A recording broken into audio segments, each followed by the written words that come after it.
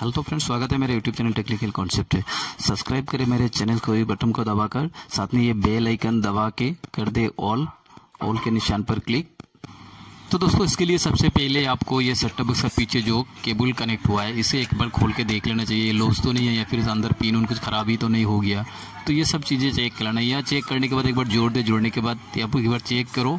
अगर आपका सिग्नल आ गया काफ़ी सारे वक्त में यहाँ का प्रॉब्लम ही होता है। अगर लॉस कनेक्शन रहे तो भी सिग्नल में इशू आ जाता है। तो ये प्रॉब्लम से अगर सोल्यूशन नहीं हुआ हो, इसे टाइट से टाइट कर लो। फिर अगला स्टेप आपको देखना है एलएनबी पे, जहाँ पे ये केबल कनेक्ट हुआ है। जो मिनी डिश पे एल एन से यहाँ पर देखिए यहाँ पर जो केबल कनेक्ट हुआ है यहाँ पे एक बार खोल के देख लीजिएगा, जो कि फ़िलहाल मैं एक इमेज के द्वारा दिखा रहा हूँ आपको। यहाँ से केबल को एक बार खोल के देख लीजिएगा। तो इसके बाद तीसरा स्टेप है कि आपको स्क्यू कैसा होगा। आप अगर डिश का पीछे खड़ा हो तो आपका हाथ के दाएँ ओर घूमेगा, थोड़ा एल एन बी स्ट्रेट रहेगा तो नहीं होगा, दाएँ और थोड़ा घूमेगा।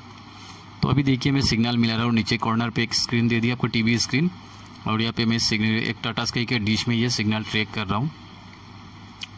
तो मैं आपको दिखा देता हूँ। हालाँकि जब मैं ये वीडियो शूट कर रहा था, तब बारिश हो रहा था, इसके लिए थोड़ा प्रॉब्लम्स हुआ करने में। तो फिर भी मैं यहाँ पे दिखा रहा हूँ आपको। तो जब भी देखिएगा स्क्रीन पे अचानक काला हो जाएगा, जो इन्फॉर्मेशन है जो स्क्रीन पे V double zero one signal not receiving signal ये आ रहा है। तो ये अगर चला जाए, काला हो जाए स्क्रीन बिल्कुल ब्लैंक हो जाए देन आपको समझ लीजिएगा सिग्नल मिल गया। तो ये एक प्रोसेस है सिग्नल रिसीव करने के लिए।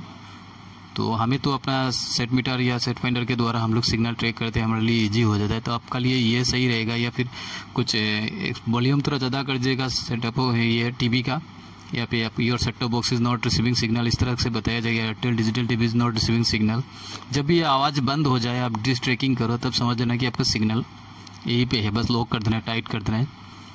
तो ऐसे करोगे तो आपका सिग्नल रिसीव हो जाएगा। देखिए मेरा ब्लैंक हो गया। तो मैं यहीं पे टाइट कर दिया, मेरा ब्लैंक हो गया स्क्रीन ठीक है, मैं यहाँ टाइट कर दिया। जब भी ब्लैंक हो जाएगा, मैं वहीं पर टाइट कर दूँ सिग्नल देखिए, मेरा सिग्नल आ चुका है। तो अभी मैं अंदर जाके एक बार सिग्नल चेक करता हूँ। चेक करके देखता हूँ आपको।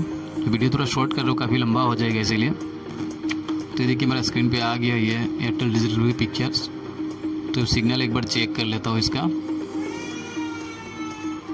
तो यहाँ पे मैं सेटिंग्स पे जाता हूँ। सेटिंग्स पे ओके करने के बाद।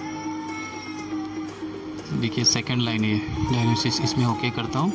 फिर सिग्नल स्ट्रेंथ क्या है, देख लेता हूँ। देखिए सिग्नल स्ट्रेंथ एंड क्वालिटी जो कि मेरा सफिशियन है, जितना आना चाहिए तो सफिशियन है। तो अभी कोई भी चैनल्स में मेरा प्रॉब्लम्स नहीं होगा, सारा चैनल्स में बढ़िया से आएगा। आज के लिए बस इतना ही। चाहिए